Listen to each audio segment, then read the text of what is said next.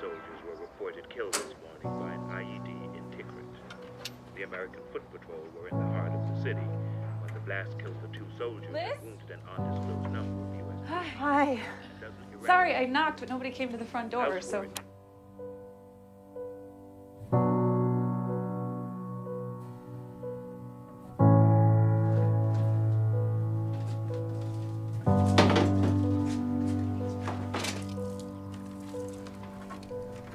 When'd you talk to him? Uh, yesterday, when he got back to the States? Yeah, me too.